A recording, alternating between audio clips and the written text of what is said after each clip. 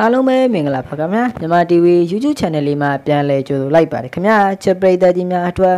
ကျွန်တော်ဒီနေ့တင်ဆက်ပေးသွားခြင်းတဲ့အကြောင်းအလေးကတော့တိမ်ထောင်ပေါင်းများစွာတန်ပြီးမြေကပ်ပေါင်းများစွာကြီးမားကျယ်ဝန်းတဲ့သူ့ရဲ့ဟိုတယ်ကြီးကိုဗီဒီယိုရက်ပြီးပြသလိုက်တဲ့နေမျိုးအောင်ရဲ့အကြောင်းလေးပဲဖြစ်ပါတယ်ခင်ဗျာ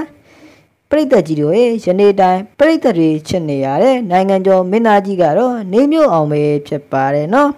နိုင်ငံကျော်မင်းသားတယောက်ဖြစ်တစ်ချိန်ကစကားတွေများစွာနဲ့နာမည်ကြီးနေခဲ့တာပဲဖြစ်ပါတယ်အခုအသက်အရွယ်ကြောင့်လူပညာအလုပ်တွေမလုပ်တော့ပေမဲ့သူတို့မိသားစုလေးရာဆိုရင်လူမှုကွန်ရက်မှာပြိသက်ချစ်သူတွေပါခင်ဗျာ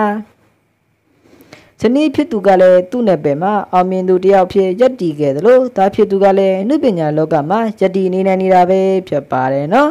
ဒါဖြစ်သူရဲ့အမှုပညာအပေါ်လဲပရိသတ်တွေကအတိမတ်ပြုကြတာပဲဖြစ်ပါတယ်လူမှုကွန်ရက်မှာလည်းအားပေးသူတွေများစွာရှိပါတယ်